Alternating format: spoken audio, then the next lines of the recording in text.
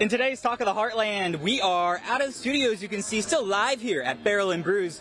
Well, if you don't know what it is, let me explain it for you. Welcome to the largest single barrel event in Missouri history.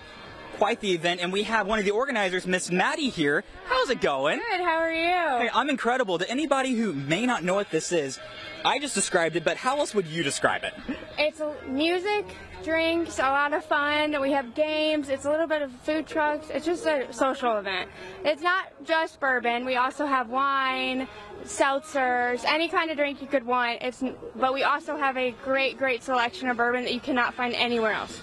And we're going to show you a little bit of the lineup that we have just down here. It goes on. The booths are uh, beautiful. You have a lot of people out here for this. We have most large brand and large name brands here, and they're brought their selection of booths. and then we also have some bars as well, and it's just a great time.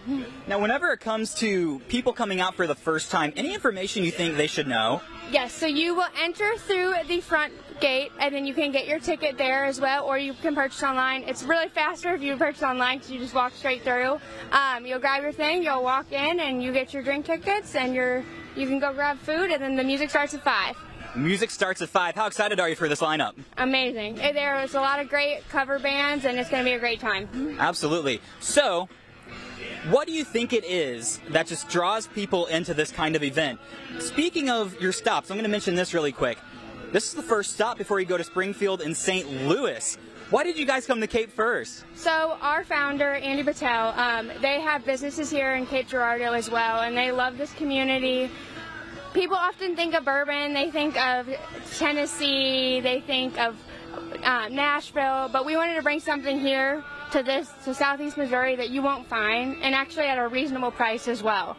Yeah. So, if people want to come on out today, is it cash only or do they take card? We take card as well. Okay, awesome. And whenever it comes to putting this all together, how much time did this take? A long time, many, many, many months. Absolutely. And anything else you think people should know? I think we covered it all. I think we're good. We hope everyone can make it. Well, we are going to barrel and brew just a little bit more coming up.